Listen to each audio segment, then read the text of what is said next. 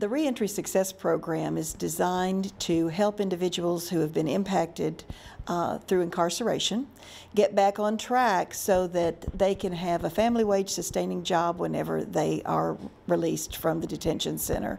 We work very closely with our economic development partners municipalities and our employer community to grow a real talent workforce here and having those individuals come back into uh, our workforce as very productive individuals that are value added to those employers is really important to all of us.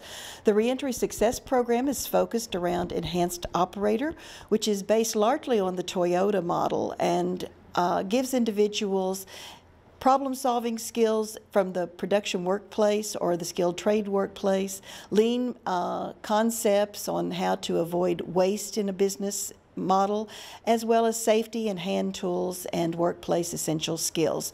So the program is heavily engaged around that particular certificate, as well as IT uh, and some other work essential activities that employers say are the most important to them in their particular operations the inmates that were selected for this program, their cases have been adjudicated where there's a time that they'll have to complete this program, but they also will be returning to society in the next months, uh, coming years.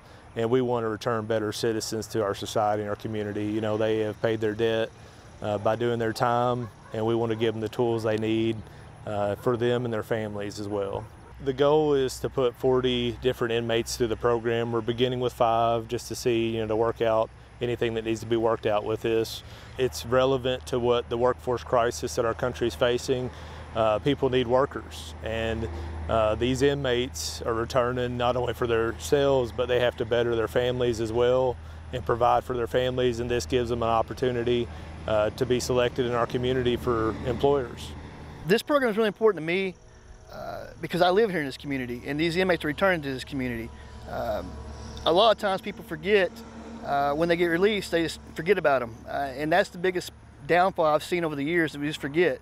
Uh, hopefully with this program, uh, they're going to remember and take something away, uh, take something positive away from this program and, and, directly benefit the community in which we live. Uh, and so that's the biggest takeaway I'm going to take from this program. I think it's very important to introduce these inmates to new concepts, new ideas that maybe they didn't have before. and seeing their enthusiasm has been beneficial already. So, man, this has been a blessing for really get a second chance coming out because people like me, I've been in my whole life, in and out, and it's and it's basically because of work. We get dead end jobs and stuff, and this right here, man, this is awesome for us here. All of us has been excited about it all week. We all been talking about it, and we're excited about it because it's going to help us with our futures. Communicate with people and just knowing how it is in real workforce because like I said, I've just did dead end jobs that, you know, just seasonal jobs and stuff. Now to actually get an opportunity at a career is, it's a blessing. it's a blessing for real. My little girl was happy. She said, my daddy's going back to school. She said, I go to school too. And uh, my fiance, man, she's real excited about it. She happy that I'm getting an opportunity to get a career to better our life and stuff.